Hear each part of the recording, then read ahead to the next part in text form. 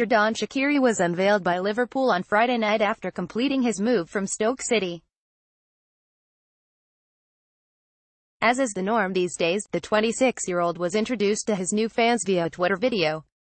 Shaqiri is well known for his remarkably stocky body shape and Liverpool decided to film him topless.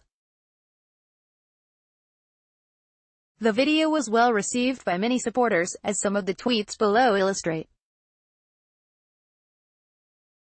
After introducing him through the video, Liverpool's media team quickly posted lots of photos of their new man.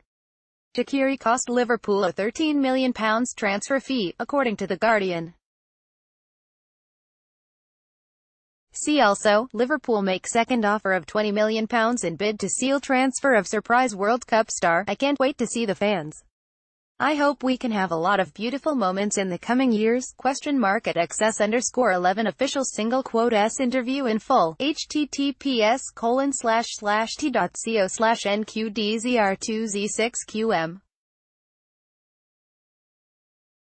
Our team though, Jurgen is going to be spoiled for choice.